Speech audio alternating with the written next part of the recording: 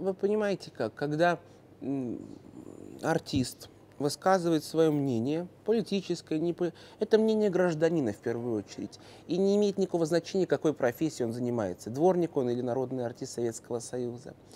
Человек имеет право на свое мнение, он имеет право его говорить. Мы можем с ним соглашаться, с этим мнением, не соглашаться, но мы его слышим, слушаем, мы его уважаем, мы его там понимаем. Ну это как? Это, это обычная демократия, которая каждый имеет право на свое слово. Я там, слушал там и тоже оппозиционерку Ахиджакову, и Фатееву, там, Макаревича, там, Собчак. Вы понимаете как? Э, я не согласен в каких-то моментах, там, но это совершенно не повод для дебатов с ними. Э, как правило, люди, которые с чем-то не согласны, они пытаются не только балаболить, но и делать какие-то вещи, которые бы помогали доносить эту там, позицию и улучшать э, ситуацию, которая складывается.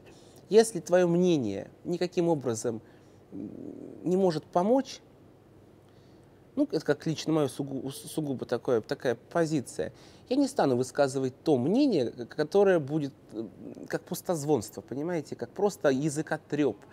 И очень многие наши оппозиционеры, они выглядят, ну, знаете, как, э, как клающие собачонки, э, потому что какие-то вещи я, например, для себя не понимаю. Для чего это говорится? Зачем это говорится? Ради чего? Не, не понимаю, не понимаю. Есть, да, совершенно интересные вещи, которые я послушаю, скажу, блин, ну здесь... Но в большинстве случаев то, что доносится нам через СМИ, очень как-то все нелепо, я бы так сказал. Это не помогает ни России, а, не улучшает ситуацию там э, с партнерами западными. Ну, не знаю, знаете, очень многие люди, артисты, у которых не очень хорошо все складывается в карьере, начинают влезать в политику, потому что это сразу становится во все услышание, понимаете? То есть как важно иметь принципиально другое мнение, чтобы тебя услышали. Это не всегда верно, не всегда правильно.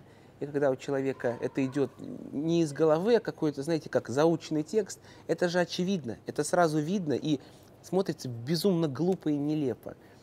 Поэтому таким людям, конечно, говорить о политике не стоит, которые на любой вопрос поплывут, как э, на корабле. А, а, м, м. Поэтому, не знаю, демократия, ты ничего хочешь, что и говори, понимаете? Это большой плюс. Поэтому вот у нас иногда там кто-то что-то, какие-то мнения кидает. Ну, как правило, это все затихает через сутки. И понятно, что и ролей новых не приходит после этих там каких-то выпадов, и песен новых не предлагают, и концертов-то новых нету. Не так надо артисту работу искать себе.